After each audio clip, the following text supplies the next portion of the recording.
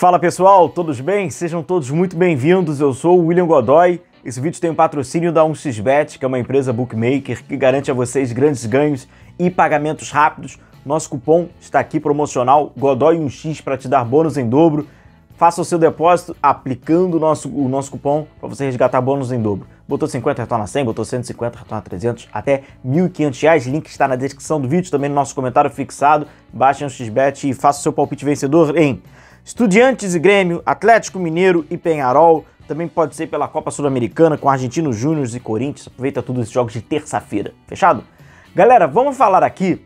É, achei clara, bem clara, a coletiva, de, né, a fala ali do Tite, do Fábio, do César Sampaio, da comissão ali do Flamengo. Eu achei que pô, o, o, o jornalista, né, que acompanhou a coletiva, e aí na primeira oportunidade que ele tiver, ele continuar fomentando a ignorância, ele tá de brincadeira. Né? É cara de pau, né? Então, enfim, foi bem claro. Vamos passar por alguns trechos aqui que é muito importante. Falando em muito importante, cara, deixa aí a notificação ativada no nosso canal, porque a gente vai falar sobre Bolívar próximo adversário do Flamengo. A gente está trazendo essa série aí sobre os adversários na Libertadores. Vamos falar sobre a equipe boliviana, então para você ficar por dentro. Claro, você já é inscrito aqui no nosso canal, ainda não é, se inscreva e ative as notificações para logo que subir o vídeo você já receber e ficar por dentro aí dessa equipe boliviana. Então, chega junto aí, já fica de olho hein, nesse vídeo de amanhã. Vamos falar aqui sobre algumas das respostas que eu acho muito importante a gente entrar nesse tema. É, o César Sampaio falou, o Fábio falou, o Tite também acabou passando ali um pouquinho passa por eh, poupar, preservar, que é um, é um assunto um pouco distante para o torcedor. É distante por quê? Primeiro, é distante porque não tem interesse, né? Não há o interesse de querer saber sobre. E o segundo, porque grande parte da imprensa não tem o interesse de informar, porque não vai ter clique. Não vai ter clique. Faça uma experiência. Três temas: projeto do estádio, projeto do Neymar no Flamengo e projeto da fisiologia do Flamengo qual que vai ganhar mais clique, qual que vai ganhar menos.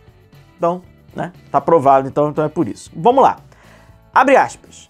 Nós temos a avaliação fisiológica, acúmulo de minutos. Então, seguindo essas recomendações do Departamento de Saúde e esse calendário árduo, também iniciamos com outros atletas. Foi o Departamento de Saúde que deu esse direcionamento foi perguntado essa resposta do César Sampaio, porque o Flamengo escolheu né, colocar o De La Cruz e o Pedro ali no banco de reservas. Certamente o Flamengo com o Pedro e com o De La Cruz estaria muito mais forte, porém houve então um direcionamento do, de do Departamento de Saúde para que esses atletas poderiam ter ali, só poderiam jogar tantos minutos. Aí você pode escolher, cara. Bota no início, bota no final, né? Normalmente se usa no final, para aproveitar até que o adversário já vai ter baixo, baixo um pouquinho, né? Você utiliza ele ali. Então, né?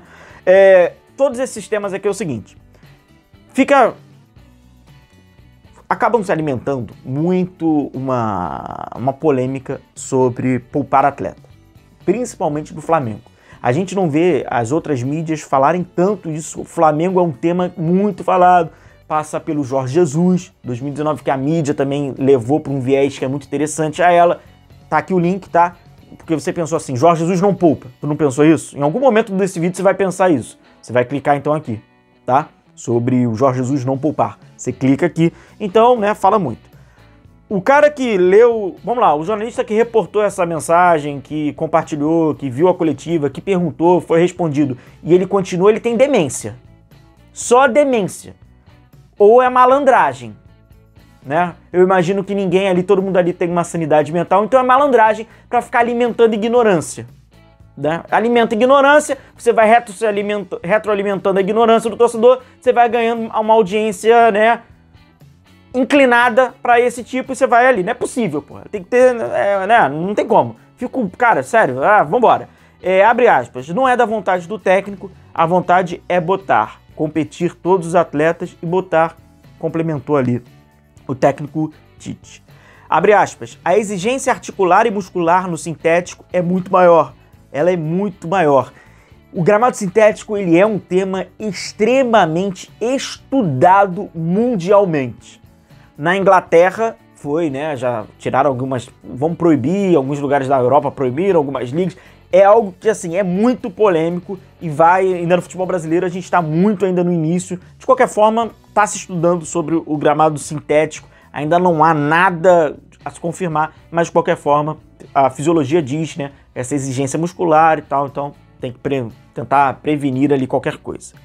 O, o jogo considerado nas altas atitudes, essa foi a fala do Fábio. Fica aleatório. Nós vamos sentir. O que é importante saber é que a nossa estratégia é chegar perto da hora do jogo. Isso não vai afetar a performance da equipe. A performance já estará afetada. Uma vez que você joga na altitude, né, já tem ali uma influência na sua performance. Ele cabe a saber quanto você vai estar preparado e condicionado para aquele jogo, para mesmo que haverá, né? Essa influência, você consiga ser competitivo, você consiga, dentro da estratégia do jogo, você consiga né, cumprir com seus objetivos. Abre parênteses. Certamente o cara tá pensando aqui, já preparou a desculpa esfarrapada. Sim, cara, a gente nega a ciência, cara. Tá na moda negar ciência, tá na moda ser ignorante. Então, assim, não tem nenhum problema, não tem nenhum problema externar essa ignorância porque tá na moda. É cafona hoje, cafona hoje é você levar a ciência a sério, é você estudar, isso é cafona. Tá? O, a moda é essa mesmo, então não tem problema nenhum pensar isso.